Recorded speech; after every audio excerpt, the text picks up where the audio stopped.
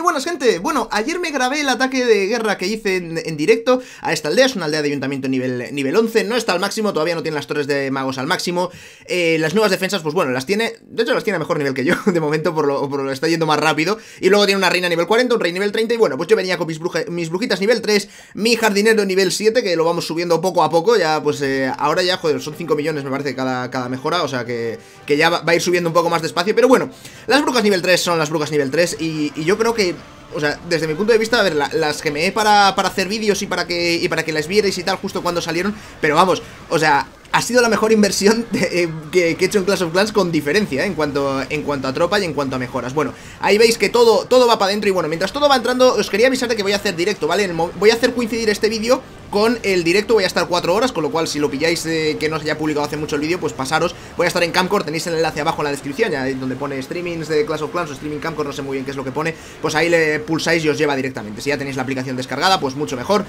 lo dejaré también como un comentario en la, descripción. Bueno, aquí estáis viendo mucho, mucho movimiento y mucha cosa. De momento, simplemente congelar la Torre Infierno multiobjetivo, dejar que las tropas se vayan, se vayan acercando. Cuando se quita, vuelvo otra vez a congelar. Aprovecho también para congelar la Reina Arquera. Pues bueno, es una, es una unidad que, que da, da un poco por saco. Entonces, eh, si, te, si te engancha un esqueleto da igual, pero si no, no. Y luego la inmunidad del, del héroe, pues para mm, justo cuando se acaban las dos congelaciones. Y claro, al final, si os dais cuenta eh, este jugador tenía un infierno en, un objetivo, con lo cual ya me estaba pidiendo a gritos que la atacara con brujas, sobre todo teniendo la aldea tampoco compartimentada, pero luego, o sea, simplemente con dos congelaciones, congelando el infierno multiobjetivo, más luego la habilidad del nuevo héroe, que lo tengo, eh, o sea, esa habilidad nivel 1, porque el héroe está a nivel 7, pero aún así, eh, al final son un montón de segundos en los que no me está no me están atacando ni me están haciendo nada a todos los esqueletitos que están en el centro, con lo cual eso es perfecto, ¿vale? Tengo ahí 8 duendes que los he tirado por la parte de arriba. En realidad el plan, cuando, cuando decía esto, el plan era tirar los duendes al comienzo, y que los duendes pasaran adelante y ayudarán a, las brujas y a los esqueletos a limpiar todos los almacenes y todas las cosas que había por ahí.